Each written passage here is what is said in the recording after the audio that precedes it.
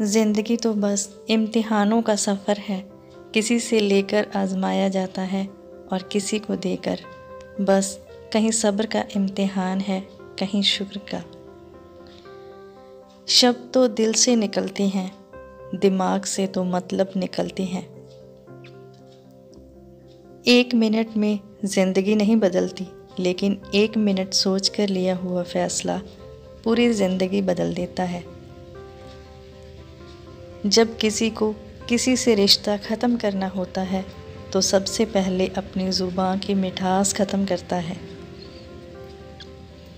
घर में अपनों से उतना ही रूट हो कि आपकी बात और दूसरों की इज़्ज़त दोनों बरकरार रह सकें।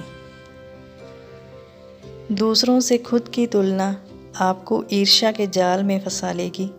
किसी दूसरे से नहीं, खुद की तुलना खुद से करें।